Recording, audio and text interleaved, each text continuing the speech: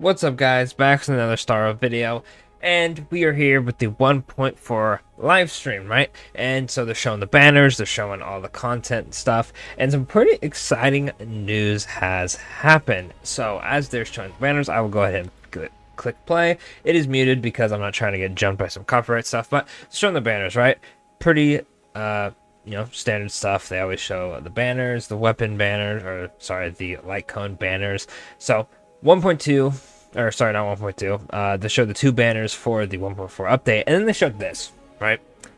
This is the first rerun. Now, this means a few things, right? One, right, there is six columns, so it's obviously going to be each of their light cones. Um, I don't think they said what part she was coming out for. I'm assuming it's just going to be the first one, right? It doesn't really matter in a sense, but from here on out, every version update, which we are on 1.3 right now, we are going into 1.4, we are going to have a rerun. This means that in 1.5, we're probably going to have a Jing Yuan rerun, and then 1.6 we'll have Silverwolf, 1.7 we'll have Luocha. That'll be a very interesting banner to see if Luocha just beats out whoever's at 1.7, or if he gets replaced and nobody summons for him.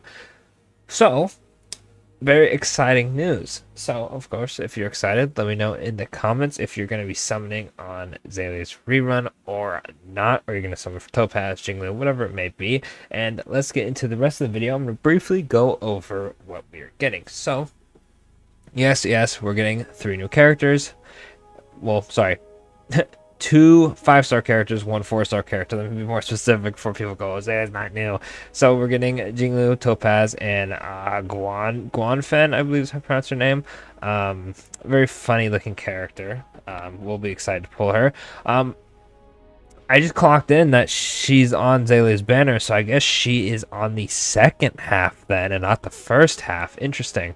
I'm actually kind of surprised that they're making you wait for the second half of the banner. Um, you know, it, it is pretty late. I I pretty much have not slept uh, at all, so I do apologize for that mishap. But, you know, Seele is in the, second half. I feel like that pretty much confirms it because they won't have her on the first banner without um, with her, right?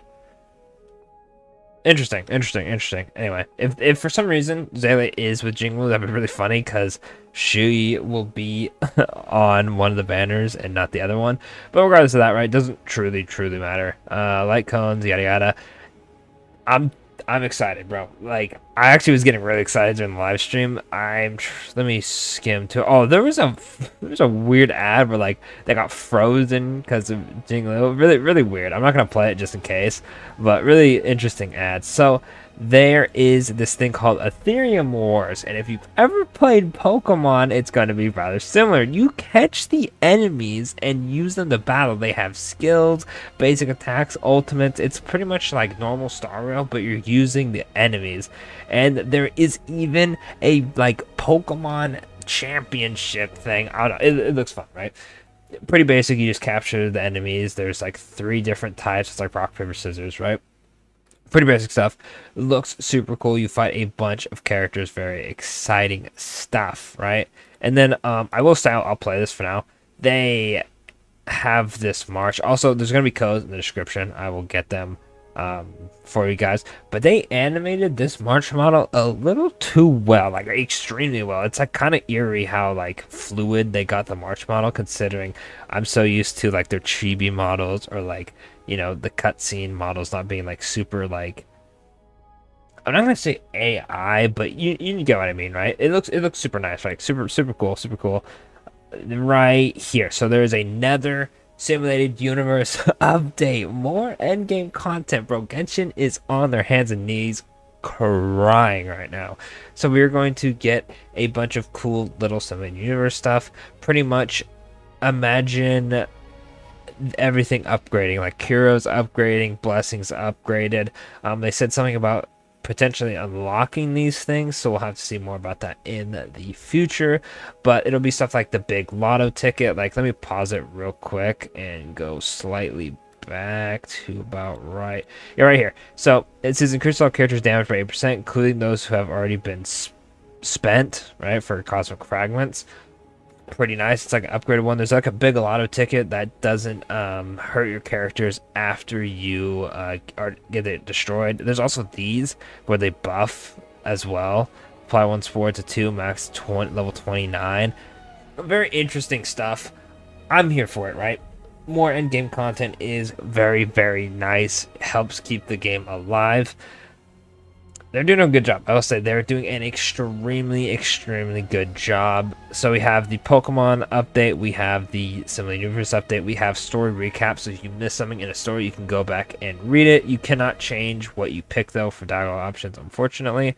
And then we have a funny, um, uh, I forgot the the name of it. It was um does it say on here? It doesn't. It's some some uh, restaurant in the UK or fast food place in the UK. Um, I'm not from the UK, so I don't remember the name of it or know too much about it. So it's up to you guys to figure that out. It should be on their Twitter if you want to check that out. Uh, you can get physical prizes though. I'm pretty sure um, there's one of the codes if you don't want to go to the description, but the other three will be there. And then um, I think I might have skipped it on accident. I think I did pretty much we are getting two double. All right, it's right here. Uh, frick, uh, there it is. Okay. We're getting double relics, and we are also getting the planar fissure event. I YouTube scrubbing doesn't want to work right now. But yeah, we're getting the planar fissure and the pretty much just relics, right? We're getting just double relic drop rate for a bunch of stuff. So big, big W, but that's pretty much it for the update. It's pretty much just whatever story they add, which is the whole both uh, Jolted Awake from a Winter Dream event, funny Pokemon, funny simulated universe, and then um, the other like double drop rates events. Uh, I don't know if I said this before, but we're also getting like the ticket login for a free multi. But other than that, that's pretty much it. Um, seems a tad underwhelming compared to last one, just because we had like a bunch of story, we had um, a bunch of companion quests, we had like all this stuff. I think we have one companion quest with Jingliu, actually, now that I think about it. But compared to last update, I don't know if the new Simulated Universe update will be as big as the Swarm, but we'll have to see. Other than that, that'll pretty much be it for the video. Let me know in the comments if you're excited for the first rerun, if you're a little worried because uh, if you did miss characters, you're going to have to compete with uh, who do I want to summon out of the three characters of a patch instead of the two characters. So you know, that is going to be a little rough. Um, I'm not looking forward to it because I really wanted Seele, but obviously I'd rather have other characters that are released around this time. Um, it's going to be rather rough for players when Luocha comes back, considering how valuable he is. So let me know if you're excited for reruns or you wish they waited a bit longer. Uh, let me know what your thoughts are on this update in the comments. And of course, don't forget to like, subscribe for more Star Rail content, and I'll catch y'all in the next one. Thanks for watching.